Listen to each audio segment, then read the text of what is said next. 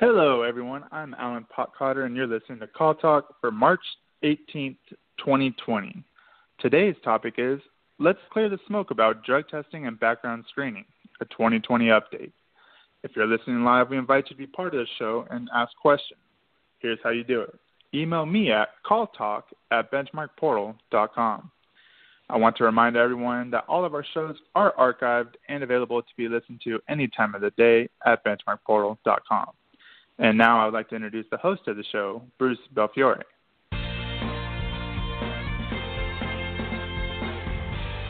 Thank you, Alan, and welcome back to Call Talk, everyone. As you know, it's our aim to keep our contact center community up to date on the latest items that impact your ability to manage your centers in the best way possible. That's why I wrote the article Coronavirus and Managing Your Contact Center Don't Panic, Plan and Prepare an article I wrote when the crisis was just breaking in February of 2020. And we hosted a special edition of Call Talk with Dr. Charles Fenzi last week that's focused on the pandemic. All, and today, another important topic to our audience drug screening. To bring you up to date on drug testing and background screening trends that are facing call centers, uh, we wanted to uh, discuss this some more. What's happening with marijuana legislation across the country, the latest drug testing developments, and other state and local updates affecting the industry in 2020. Because it can all be pretty confusing for managers who face these challenges every day. And add to that the complications that will be felt due to the coronavirus pandemic during 2020, and we all need some special help and guidance. And that's why we have brought in an expert on the topic for you, Christine Cunneen, CEO of Hire Image. Christine is a veteran of Call Talk, having already been interviewed for our June 2018 show, which I encourage you to listen to as well, which was extremely well received. Welcome back to the show, Christine. Thanks for having me, Bruce. I'm excited to be here, and uh, I can't believe that was almost two years ago. It just feels like yesterday that we were having this, these discussions. Where does the time go? I'm telling you, it's so fast, so fast. But uh, Christine has been CEO of Hire Image LLC for the past 15 years, and her company is nationally accredited, specializing in background screening and drug testing. Uh, Christine is a past chair of the Professional Background Screeners Association, and she's active with the Society of Human Resource Management, or SHRM, at both the national and local level. Uh, she's a frequent speaker at events throughout the country, and uh, so we're just really delighted to have her with us. So, Christine, the coronavirus is impacting every facet of life these days as we record this show. Uh, how is it impacting background screening and testing uh, for drugs so far? And first, let's talk about the background screening with court records, education verification, et cetera, that part of it. And second, can people still go for drug testing, or will the labs be too busy for employment screening tests because of uh, the fact that they're overloaded with coronavirus tests? Yeah, it's a great question, Bruce, and one that we're faced with every day. Uh, employers calling in with all sorts of questions like that. Uh, let's start first from the background screening side of things. We are starting to see some court closures. So as you know, everything is closing down. A lot of the courts are closing up, so that may impact uh, providers' ability to get those criminal records out. Uh, right now, we're seeing California, Georgia, Massachusetts, Kentucky, Michigan are kind of on the front lines of just shutting down those courts. Sometimes there's online subscriptions and ways to get those court records, but if you need to go into those courthouses, that may be impacted. You may not get your criminal records back in a timely manner. Uh, we're also seeing a lot of school closures, obviously, as they're shutting down schools, and um, a lot of uh, employers shutting down. So, on the verification side of things, uh, employers that need that prior education verification or prior employment checks, uh, we are starting to see some delays there. Not too too bad yet, but I anticipate as this grows um, and as more and more things are shut down, we'll see some delays there. Um, I would say the biggest questions we are getting though right now are related to drug testing um, from both the applicants and the employers. Um, and so here's what we know so far, uh, so that your listeners know. Um, as for lab based urine testing, which happens to be still the most popular uh, way of drug testing, applicants and employees who are tested at a patient service center, those are those Quest or LabCorp type of facilities, Um, they are not the facilities where folks are coming in to test for COVID 19. So you keep hearing a lot on the news like, oh, Quest and LabCorp, they're going to help with all this testing that's coming out um, that's supposed to be ramping up. Uh, the COVID 19 testing is collected by the ordering clinician and is mailed to the lab testing facilities, not the patient service center. So you're not going to have those germs and those tests, um, you know, seen in those patient service centers. Um, and those patient service centers, they're cleaning, they're sterilizing their offices, um, and they're asking anyone who doesn't feel well and are exhibiting those flu-like symptoms uh, to just not come to their offices. Uh, but like any other public place right now, you know, to say, oh, well, they're totally safe. Um, they're like any other um, public location right now. So if you are going to one of those centers, you know, follow those CDC guidelines on hand washing and using those back- antibacterial sanitizers, uh, sanitizers, and don't touch your face. Uh, so kind of following those guidelines would be good, but not to worry. They're not doing those tests there. Um, and then at the moment, we don't know of any closures of those patient service centers. That could happen too, as you know, maybe staff gets sick or there's quarantines in certain cities. Uh, but right now, we haven't heard of any, so they're continuing to operate in their normal hours. Um, and then as for the processing of tests, that's kind of the next level, right? So your your um, employee goes into the facility or your applicant, get their test done, and then that sample gets mad, mailed to a lab.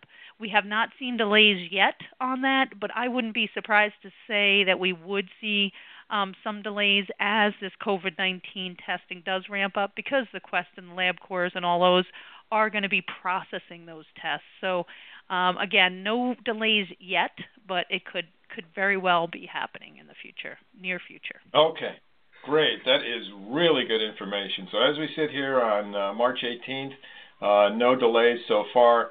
But if there comes a time in which those uh, lab companies have to repurpose or reposition some machinery or some people uh, so that they're concentrating on the COVID-19, then uh, we just have to be prepared for that. So that's really good.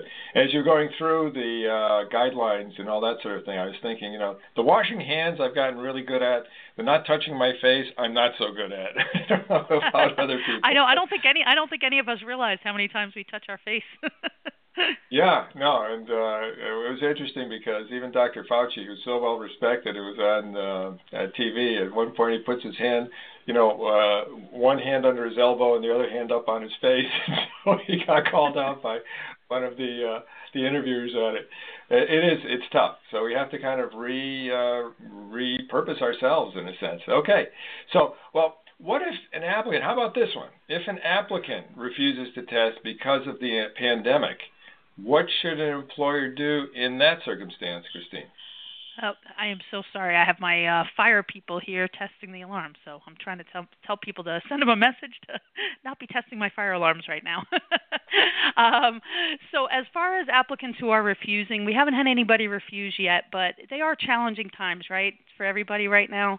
So, what I'm telling employers, and again, I can't give any sort of legal advice, but uh, um, I would suggest employers allow for flexibility and be a willing willing to be a bit out of the norm on this. Um, you know, everybody handles this differently. Different people have different anxiety levels and stress levels related to this. So I would say kind of be a, a little bit more open. Um, one of the alternatives that we're letting our employers know about is to possibly consider different types of testing. There is the oral fluid lab based test. I strongly recommend them as they have shorter detection windows for marijuana and they have proven to be very effective tests.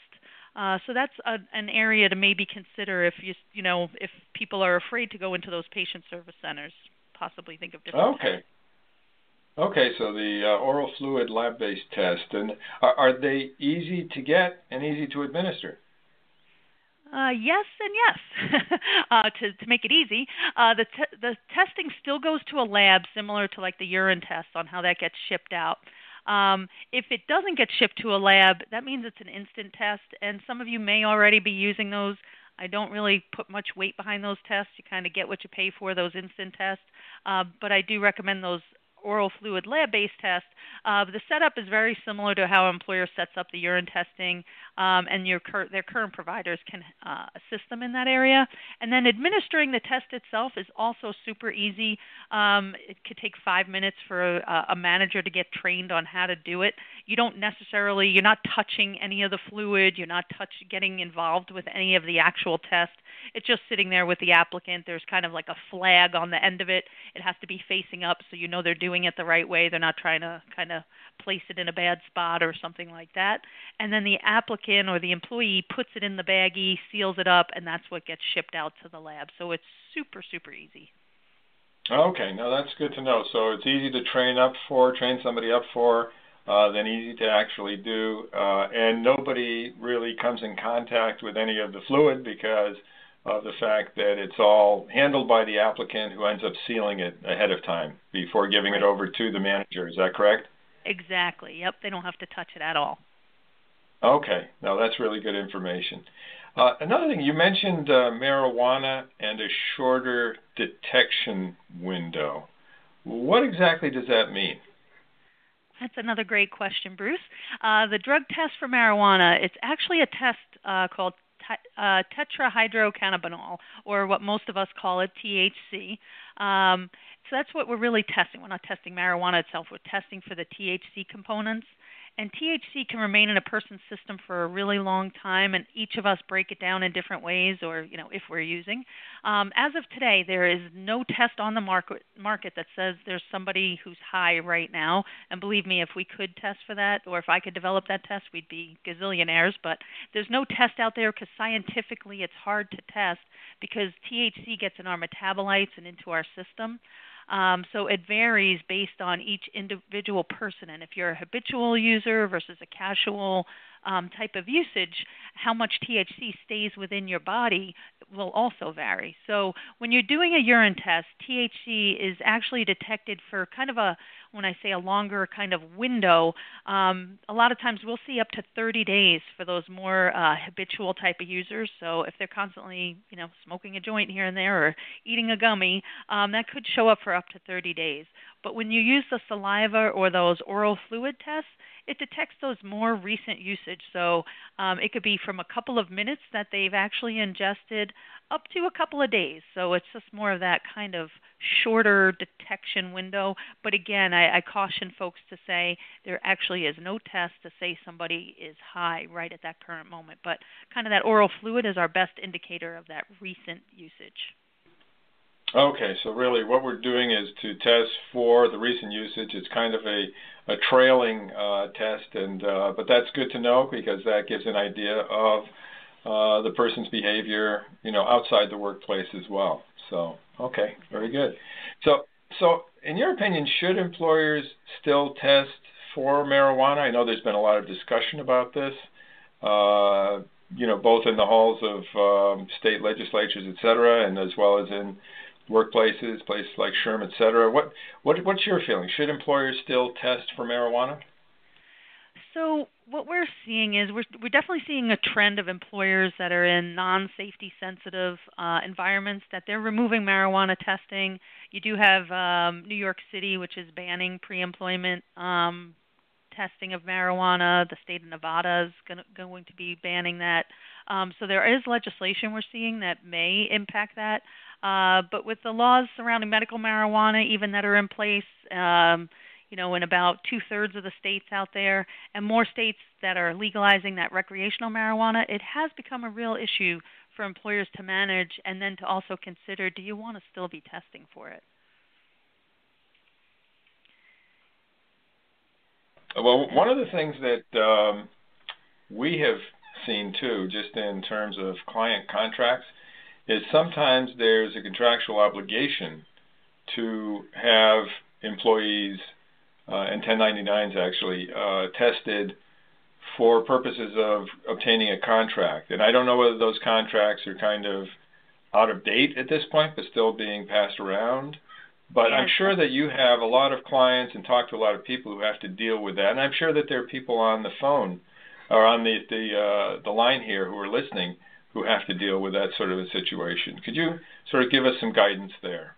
Yeah, that's uh, definitely great points, Bruce. Because and, actually, every time an employer calls us and they're thinking of removing it, we actually, you know, kind of make them think like, are there any other reasons you're testing outside of just your company's substance abuse policy, but especially with contact centers, call centers around the country, a lot of them are working with different types of companies that are requiring a specific criminal search, a specific drug test. Um, so I would go back to those contracts, make sure you know what is required, and if you really are don't want to be testing for marijuana anymore and you want to remove it and it's still in there with those contracts, talk to those companies that you're working with because they might be going through the same thing at their organization and they may be more lenient than they were years ago just with these trends of this legalization of marijuana. But you know, Bruce, as we're talking about this, um, you know, comes to mind for me too another potential issue that I see testing for marijuana, and we have seen this happen. We've seen people who have lost their jobs because there's random testing or DOT testing. Um, you know, these regulated type of industries that they're required to randomly test people throughout their employment. Um, we've seen this proliferation, right, of CBD products out on the market. You can get these lotions and creams, and they're going to heal your arthritis, or you can put it, you know, use it for your dog, and they're going to heal almost anything, right? Um, but those products, they're they may have some THC in there, um, and there's no products out on the market today. Um, well, there's one. I'm sorry, excuse me. There's one product, CBD product, that's approved by the FDA. All the others are not pre-approved by FDA, so it's a little bit of the wild wild west out there. So, and some of them might even say, "Oh, there's no THC." But there's no way there's it's not regulated to say how much THC is in these CBD products. So you have someone innocently putting on lotion on their hands and arms or whatever wherever they have arthritis pain um, to ease that pain, um, and they may unwittingly be um, having THC enter their system. So with that, if they had a drug test, they may fail. So employers are faced with that. What we tell employers, especially those that have the random testing, is put something out there to your applicants, your employees. Let them know that CBD products can cause them to fail that marijuana test. But again, to me, that's another reason to consider possibly removing marijuana as more and more people are using these CBD products that are so easily gotten out there on the market. Right. Oh, really good point. Um, I think that uh, all of our listeners would probably want to consider how that uh, fact, you know, that these uh, uh CBD things have been put into other uh, products, oils and creams, et cetera, could have an impact on them.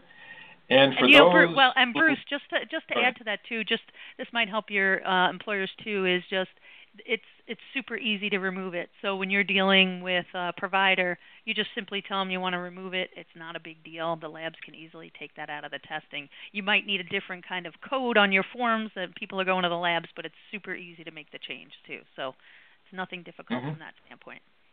Okay, well, very good, very good. Another thing sort of popped into my head too, and that is if you're in an industry where you have to do it uh, for good reason, and uh, you want to make sure that you're not pulling people in to the employment tube who don't know uh, the secrets you just told us or the information you just told us, Christine. Uh, maybe uh, a nicely placed uh, half minute video or one minute video on your website in the employment section explaining why you know you need to do this and uh, what it takes and the fact that uh, be careful because you may be using creams oils or other products that are not approved by the FDA and in fact may have some THC in them. Uh, do it nicely. Do it in a way that actually imp- uh, sort of supports your branding instead of destroys it, and you'll both inform. Uh, you'll bring down your recruiting costs and your your fails, if you will, and uh, that could be a good way of handling it. Do you have any thoughts on that, Christine? I think that's a great idea. Um, but I will say though, at the point where someone's coming in to apply for a job and they're going to get drug tested, if they've been using those creams and oils, and you go send them right then for the drug test, they're going to fail. um, yeah, yeah. So yeah. it would be good if That's, it would be good if there was more out there and uh, you know like SHRM and the HR magazines and like getting it out there right. to to folks who are who are out there just you know reading it in the news right. type of thing. Absolutely, and, and and this is why if you put it on your website, in other words, people who come uh, to your website because they're interested in employment, uh, if you let them know at that point in time maybe if they're using some of these creams and things, they'll either look more closely into them or they'll stop using them for a while at yeah, least. That's, that's right, true. That's a thought. Okay, so uh, so here's a you know should contact center managers still drug test their employees and potential employees, and uh, if so, what are some of the benefits? Well, I, you know, it's not just because I sell it. I do firmly believe, absolutely, um, employers should still drug test. The only thing they should be considering is possibly removing marijuana, but other than that, um, they should be um, have they, and they should have a substance abuse policy in place, um, and you know have those drug tests. Um, and some of the reasons would be, you know, increased productivity and reduce, reduced turnover from people who are not habitual drug users. Um, you reduce absenteeism, tardiness. Uh, it's definitely a safer work environment. Um, and let's not forget, many call centers are required to conduct drug tests, you know, as we mentioned, based on those contractual requirements. So uh, that's another reason. But I definitely strongly suggest that folks review their substance abuse policy and consider, uh, you know, again, removing marijuana, but definitely, definitely um, still uh, drug testing. I think it's an important, important part for okay. employers. Okay, good. And one of the things you mentioned was a uh, uh, sort of a substance abuse policy, a formal substance abuse policy. Uh, do employers need to have a policy before they test?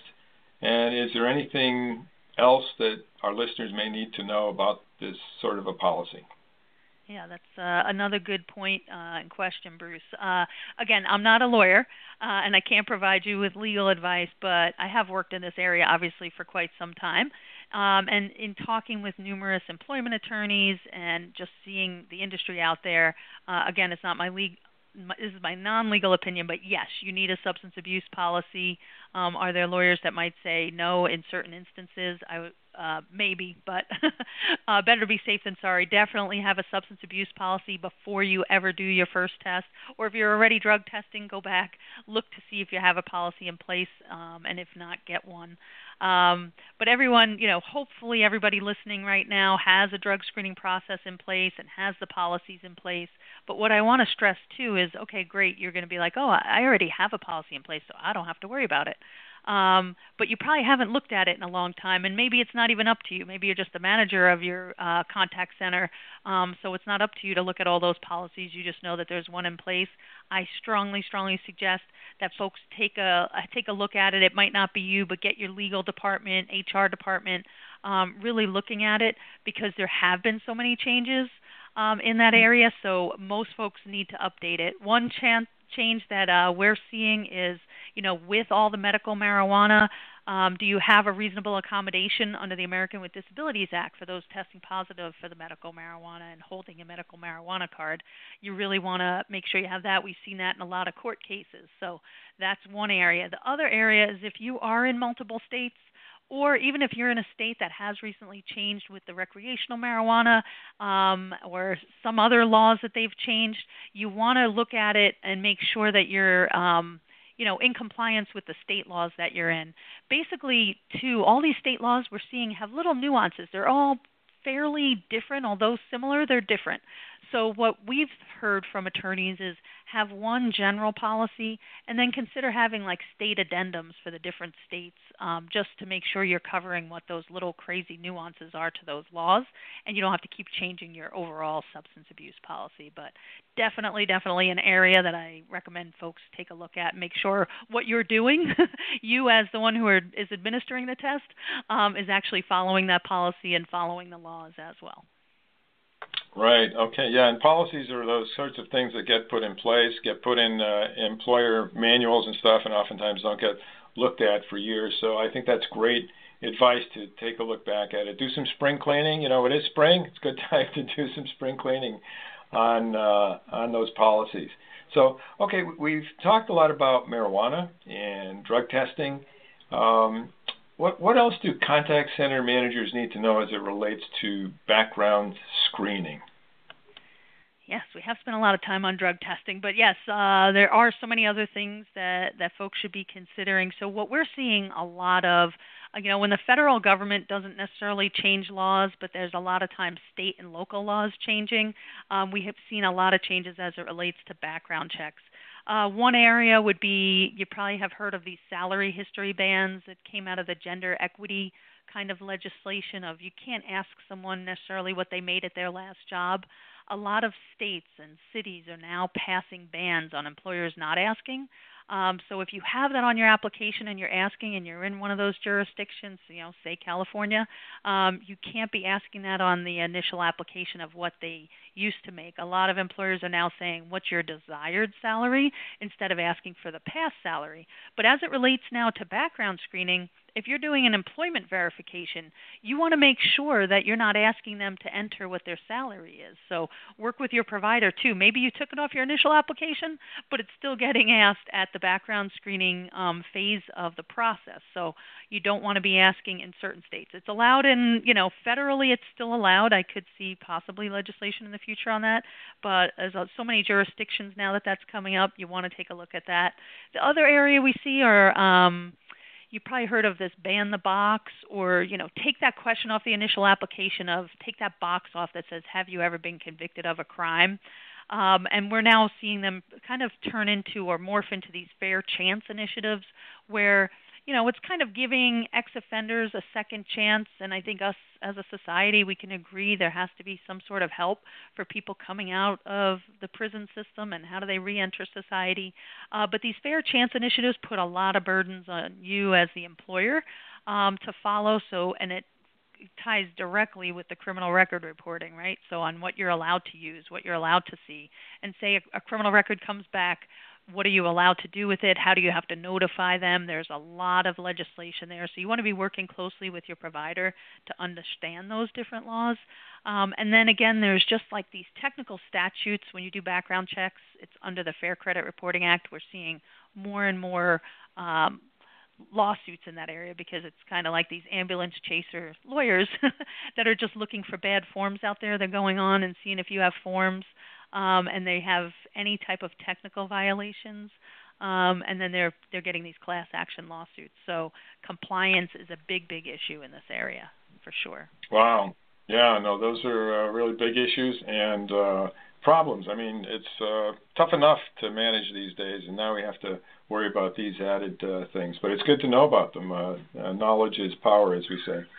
Okay. Well, listen, we've we have been through a lot of really good stuff. I know that Alan has a couple of questions, and uh, we're we're uh, getting toward the end of our time here. So why don't we go over to Alan and see what those questions are? So this is uh, from Jennifer, and the question is: Does it cost more to have oral-based testing over urine? That's a good question. Um, no, it's it's similar type of pricing, so it's not much cheaper and it's not much ex- more expensive. So work with your provider, but it's a it's generally you're going to be in that same ballpark of what you're paying now for your urine testing would be the similar for the uh, oral fluid lab-based testing. Okay, very good. And I have nothing to add to that. Do you have any other questions, Alan? Yep, we have one more from Tom, and he is asking if courts are closed how do I know if I sh- should move forward with hiring or not? How do I know if they have cr- a criminal record? That's another good question. Um, definitely, you may not know um, if the court is closed because it might take some time. So you either may have to delay the hiring on that person, or at least know, hey, we're hiring you pending the results of this background check. But if something were to return that you know we can't work with you on, um, it might change things. So you may have to get a more, a little more creative and flexible in that area uh, based on these court closures that we're seeing. Mm-hmm. So sort of have a contingent hiring situation. Is that right? Exactly. Yep. Um, you right. know, kind of just be ready for it. Yep. Yeah. Okay. Well, those are good questions. Well, thank you very much, Christine. Is there any are there any final uh, thoughts you want to share with us before we uh, wrap up the show? No, I think you know just staying on top of what's going on out there in the industry and and following those local laws in your areas are really important um, as they're ever changing. Okay, very good. Thank you so much for joining us, and uh, uh, back over to Alan at this point to wrap up the show. All right, thanks for having me. Take care, everybody. Thanks again to Christine and Bruce Belfiore for your insightful discussion on today's show. Be sure to join us next month for another great show or look at our huge selection of archive shows and topics at benchmarkportal.com. Then click on Call Talk where you'll find over 10 seasons of this show.